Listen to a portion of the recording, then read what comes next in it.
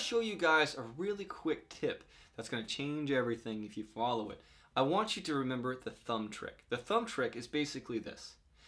Usually whenever you're learning chords as a beginner, you're learning, say for instance, an A minor, like this with your thumb on the back, right?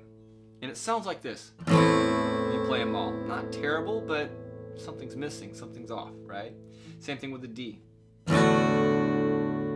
Bad, but there's something weird, right? And that's because you're not muting. A lot of playing well is actually not playing certain things, or muting stuff in this case. So I want you for all your open chords, with the exception of only two types, to use that thumb trick. So I want you to use your thumb trick for any chord that has a root note that is not on the E string. So a C major, root note, thumb trick. Just touch the side of it very lightly. Don't come around, just the side. A minor. A major.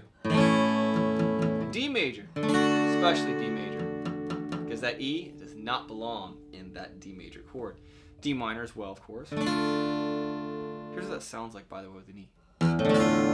Right? So get that thumb in there, get rid of it. Still aiming for the D string, my root note, but I'm now, insurance. Okay, and now that's going to be for all of your open chords with the exception of the G and the E's. Okay, so G, your root note's right there on the E string. All bets are off. I tuck my thumb back here, get them out of the way.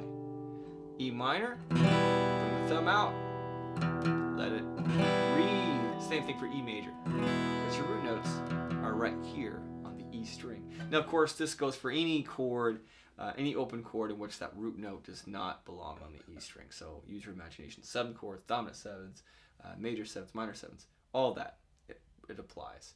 Uh, and then the weird exception is um, the F, okay? So for an F, play that power chord, sorry, the bar chord. In that case, no thumb, right? If you're playing the F like I like to play my Fs a lot, which is just kind of all that stuff in between the A, D, G, high E is how I'll do that. Okay, so thumb trick for the F as well. All right, you guys, hope that helped.